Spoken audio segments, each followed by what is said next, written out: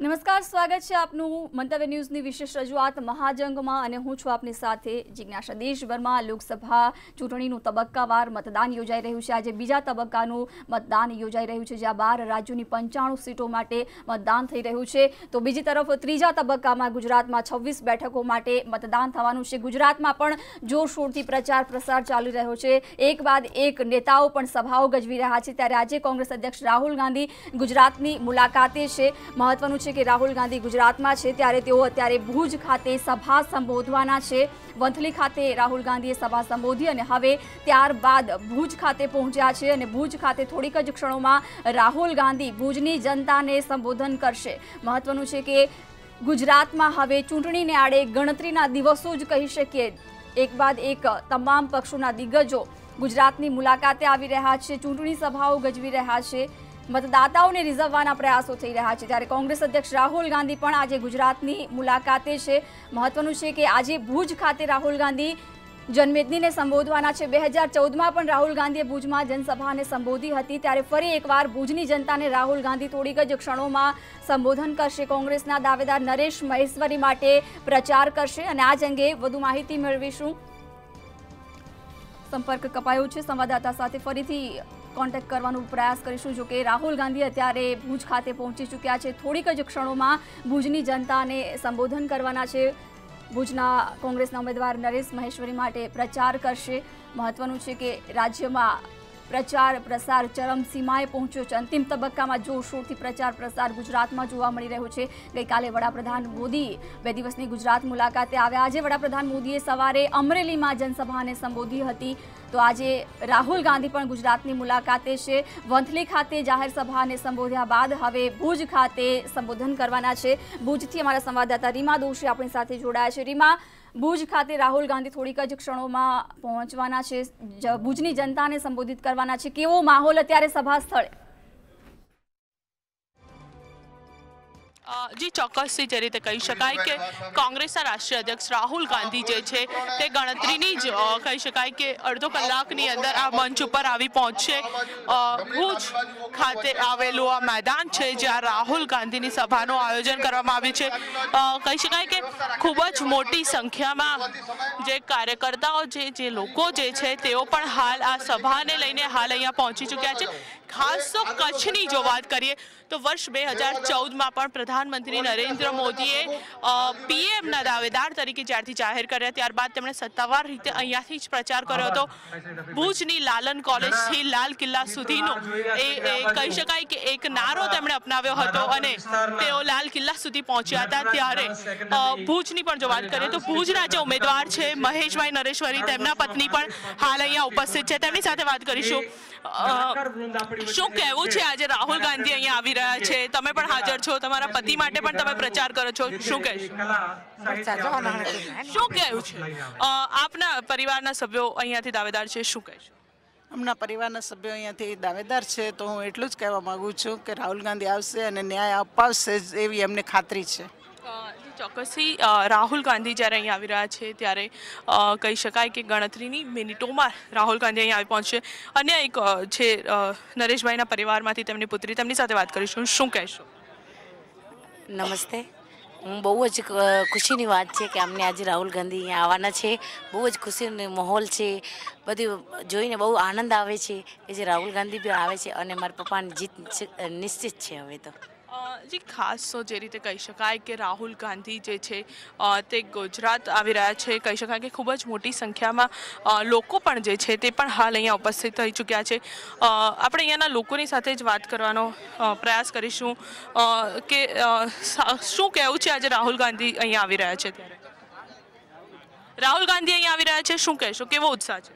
ઉત્સાહ પબ્લિકનો તો સારો જ છે. પબ્લિક તમે પણ જોઈ રહ્યા છો. પબ્લિક એટલી પોતાની મેળે પણ આવી આવી ગઈ છે. બહાર પણ ગ્રાઉન્ડ ભરેલો છે અને કયા કયા મુદ્દાઓ રહેશે? ખાસ તો આ ચૂંટણીમાં કચ્છના લોકોના કે કઈ કઈ અધૂરા વચનો હશે જે રહ્યા છે જે કોંગ્રેસ પાસેથી એક્સપેક્ટેશન્સ છે? જો મુદ્દાનો ઉલ્લેખ તો નહીં કરી શકું કેમ કે હું પોતે મીડિયા સાથે જોડાયેલો છું. એટલે પબ્લિક જી જી ખાસ તો જે રીતે કહી શકાય કે લોકો જે છે તે ખૂબ જ મોટી સંખ્યામાં લોકો પણ અહીંયા આવી પહોંચ્યા છે. આપણે તેમની સાથે વાત કરીશું.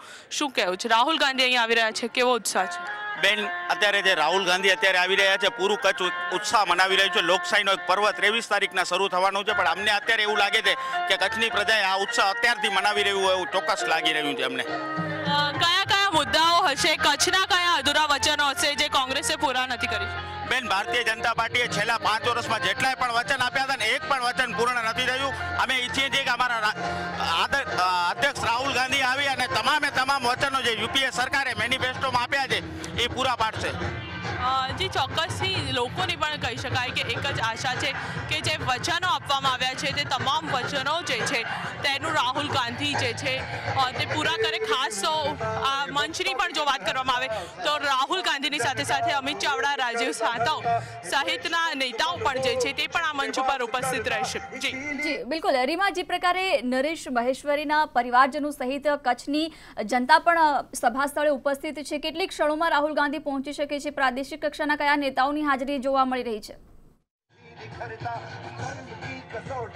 જે ચોક્કસથી જે રીતે વાત કરવામાં આવે રાહુલ ગાંધીની, તો રાહુલ ગાંધીની જો વાત કરીએ તો રાહુલ ગાંધી જે છે તે આવનારા અડધો કલાકની અંદર ભુજના ગ્રાઉન્ડ ખાતે પહોંચી જશે.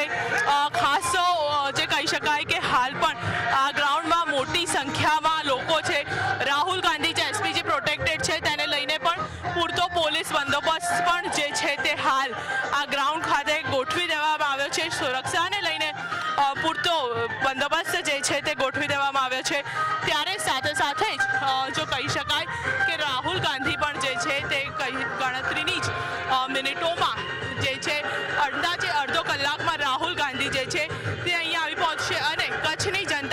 સંબોધન કરશે. જી.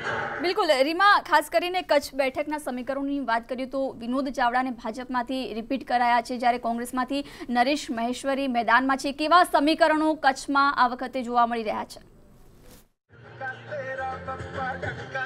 જી ચોક્કસથી કચ્છની જો વાત કરીએ તો કચ્છ હર હંમેશ માટે કહી શકાય કે ભારતીય જનતા પાર્ટીનો અગાઉ સીટ છે તેની સાત બેઠકોમાંથી બે બેઠકો જે છે તે કોંગ્રેસની છે અને તેમાં પણ કહી શકાય કે રાપર અને અબડાસા આ બંને બેઠકો જે છે તે કોંગ્રેસની છે ત્યારે બાકીની પાંચ બેઠકો જે છે તે ભારતીય જનતા પાર્ટીની રહી છે. ત્યારે સૌથી મહત્વની બાબત એ પણ છે કે વર્ષ બે હજાર ને ચૌદમાં પ્રધાનમંત્રી નરેન્દ્ર મોદીએ પણ આ જ કહી શકાય કે આ જ ભુજના લાલન કોલેજ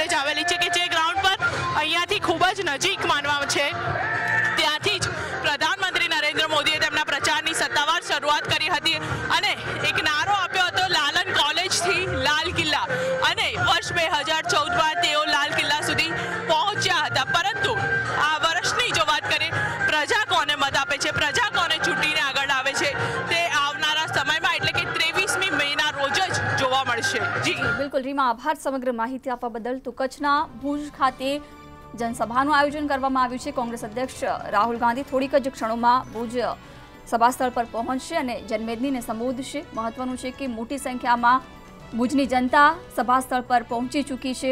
રાહુલ ગાંધી પ્રચાર અર્થે ગુજરાત આવ્યા છે. વંથલી ખાતે જનસભાને સંબોધિત કરી આ દરમિયાન ભારતીય જનતા પાર્ટી પર આકરા પ્રહારો કર્યા હતા.